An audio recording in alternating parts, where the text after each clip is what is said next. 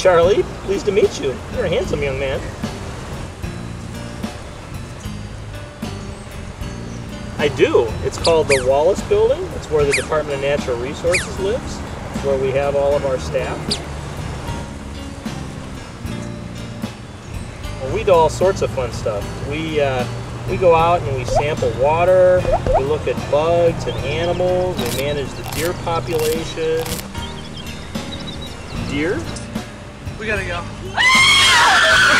we gotta go. Well, pollution is anything that's in the environment that either shouldn't be in the environment or it's something that's in the environment that is, there's too much of it. And it makes it bad for animals and plants and people. Oh, some of the pollution would be uh, bacteria in the water, which could make you sick.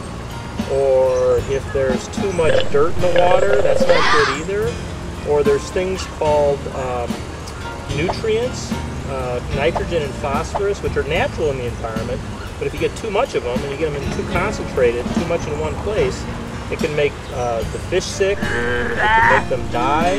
Um, if, if the animals like get into the algae that they that grows off the off the uh, nutrients, you can get sick from that. Especially a dog can get sick from some of that.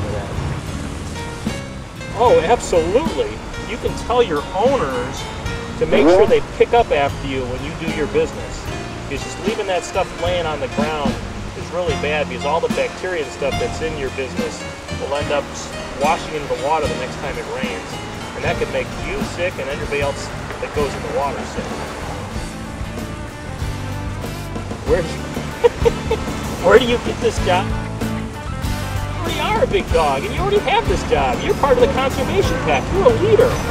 You're one of the leaders, just like the leaders we have in our building. You're welcome, Charlie.